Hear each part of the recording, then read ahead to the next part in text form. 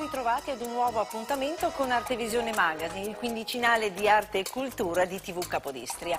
Un magazine inteso quale finestra informativa su alcuni degli appuntamenti proposti dalla sfera culturale di questo nostro grande spazio geografico, ormai senza confini e non solo della regione. Credendo di fare cosa gradita proponiamo al pubblico la visione di mostre e rassegne che non sempre si ha la possibilità di andare a vedere dal vivo e quindi questa sera vi proporremo una rassegna di pittura contemporanea, Ricorderemo il trentennale di una pubblicazione dedicata alle arti e seguiremo il primo appuntamento di un importante festival musicale. Ma prima di tutto introduciamo l'ospite. Oggi è con noi la giovane artista Lara Cobal di Capodistria. Una passione per l'arte figurativa sin dalla più tenera età che successivamente è riuscita a coniugare con la carriera pedagogica. Oggi Lara, dopo la laurea in pedagogia dell'arte e diverse esperienze nel campo dell'insegnamento scolare e prescolare, ricopre la cattedra di assistente per la didattica dell'immagine all'Università del Litorale e contemporaneamente porta avanti la sua personale ricerca figurativa, di cui questa sera vediamo alcuni esempi. Sono degli acquerelli di recente esecuzione, vero e proprio diario intimo dell'artista, fatto di colori e di energia che si rincorrono e scorrono sulla superficie cartacea. Colori vivaci per lo più nei registri del rosso, del rosa, del violetto, che Lara sembra lasciare scorrere in libertà, in modo che sia proprio la traccia di colore a dare forma al suo pensiero più intimo, ai suoi sentimenti e ai suoi desideri. Come scritto dal critico Lorella Clun, nelle composizioni della Cobali il vuoto non si oppone al pieno, ma dialoga incessantemente con esso. Il vero soggetto di queste rappresentazioni si cela nell'intervallo tra un filamento di colore e l'altro, tra il raccoglimento mentale e la gestualità della pennellata. Le volute cromatiche, ingentilite dalla diluizione dell'acqua, si muovono con incantato stupore, fatto di slanci e di riflessioni, che in alcuni casi si scoprono in bilico tra eros e giocosità, quasi a svelare l'artista donna e la sua complessa femminilità. Opere delicate e suggestive che l'autrice non imbriglia con titoli, lasciando così all'osservatore la più ampia possibilità di lettura e di interpretazione. E quindi è con grande piacere che accolgo nei nostri studi Lara Cobal. Buonasera Lara. Buonasera. Benvenuta. Grazie, Grazie di essere con noi. ecco, abbiamo parlato di questi acquerelli di queste opere così gentili. Ecco, come nascono queste opere? Le opere qui esposte sono state fatte apposta per la mostra di gennaio, quindi al, con Stabo Art Gallery di Trieste, però di, direi che la mia favola nell'ambito dell'acquarello è iniziata con questo lavoro qua. Mm. Quindi alla fine dell'università, nel quarto anno, abbiamo avuto modo di fare un progetto nostro. Dopo tre anni di pittura, scultura, grafica e disegno, uh, il disegno e la pittura prevalentemente nella tecnica dell'acrilico, quindi nudi, nature morte, così in avanti. Uh, l'ultimo anno è stato dedicato a un nostro progetto ed io volevo fare qualcosa di nuovo, qualcosa di intimo, sì. che stesse ad aprire una finestra sulla mia anima, quindi l'acquarello era, era stata la tecnica che più mi era vicina. Ho iniziato con piccolissimi formati, quindi da francobollo, quasi piccolissimi. piccolissimi, fino a 5x5 cm e tutto l'anno è andato avanti con disegni e, uh, e dipinti in acquarello uh, proprio così piccoli. Uh, man mano che il lavoro andava avanti uh, è, fuori, è, venuta fuori l'idea di farne un diario. Un diario. Perché facevo sempre l'acquarello uh, nel senso di esprimere me stessa, le mie emo emozioni, quindi quello che mi succedeva. E quindi questo è un diario di pittura, di disegno forse anche di qualche mio pensiero e così via. Ecco, eh... abbiamo proprio parlato di un diario interiore ed eccolo qua, non l'abbiamo così sì. visto, il pubblico l'ha visto. Ecco. E queste maliziose di cui parlava prima, eh, chi sono queste maliziose? Che cos'è questo ciclo? Allora, il ciclo Le maliziose sono uh, diventate un po' il mio cavallo di battaglia, se mm. così si può dire.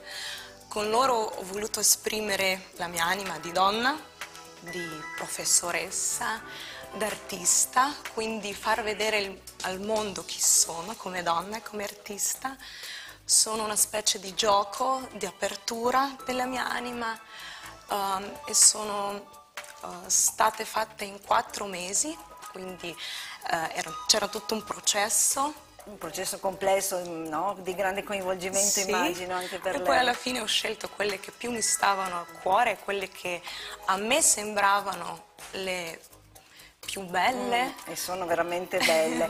e ci piace vedere finalmente l'acquerello, no? Io dicevo mm, così che l'acquerello forse è un po' dimenticato, no? Non si pratica tanto, neanche fra i giovani, però è una mm-hmm. tecnica bellissima, suggestiva, delicata e non tanto semplice come può apparire eh, al primo acchito, è vero? Sì, come perché l'acquerello uh, non lascia posto per far corretture.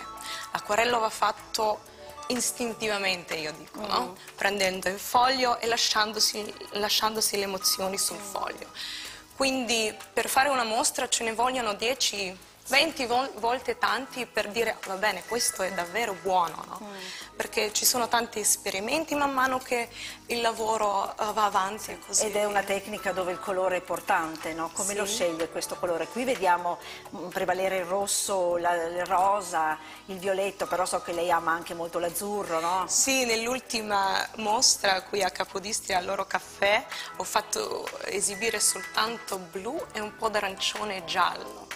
Um, questo perché? Perché io scelgo i colori d'istinto, uh, in base a quello che mi sta succedendo, in base nel, alle emozioni che sono in me.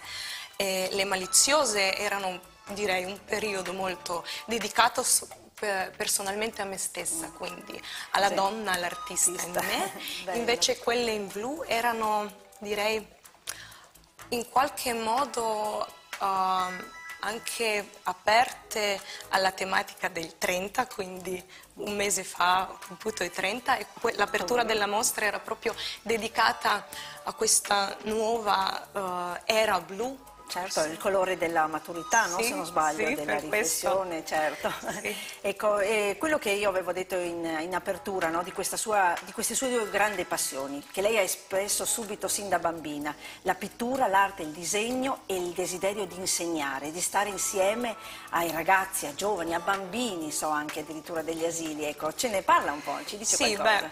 Beh, uh, alla fine delle elementari io avevo già deciso, io avrei fatto l'insegnante di educazione artistica, quindi da vera istriana a 14 anni mi sono messa in testa che l'avevi fatto e beh, Oggi tenacemente ce l'ha fatta, ce l'ho fatta. Coniugare, ecco. Sì, la passione è iniziata già da bambina quando andavo, non andavo da nessuna parte senza le mie matite colorate, riempivo pile e pile di uh, fogli. e quaderni con i miei disegni e poi man mano si è sviluppata nell'amore anche per i bambini, quindi per la motivazione dei bambini cre al creare. Mm -hmm. Allora la mia traiettoria è stata già predisposta a 14 anni. Ho fatto il ginnasio, ho concluso il ginnasio, mi sono iscritta alla facoltà di scienze dell'istruzione di Lubiana dove mi sono cimentata in varie tecniche e poi eh, eh, cominciando a lavorare all'asilo, mm. alle elementari, alle medie, alle superiori, al ginnasio artistico e alla fine anche alla facoltà di Lubiana. Sembra una bella favola, no? però è, è un, segno, un, segno, che quando uno desidera qualcosa tenacemente e, e, si impegna e lavora ce la fa, no Lara? Credo che sia così. Sì, direi che uh, la voglia di creare e la voglia di far vedere quanto il creare, il dipinto, la pittura, il disegno sia una cosa molto importante per noi tutti, mm, certo, proprio per certo. i bambini, no? mm. alle elementari mi ha spronato ad andare avanti. Ecco, io desidero ricordare che Lara Cobala è esposto nel 2010 all'Ipizza e come detto agli inizi di quest'anno alla Conestabo Art Gallery di Trieste e attualmente i suoi lavori sono esposti ancora per qualche giorno alla Galleria Oro Caffè qui a Capodistria e con il ciclo intitolato La strega e il corvo e quindi io invito il nostro pubblico ad andare a vedere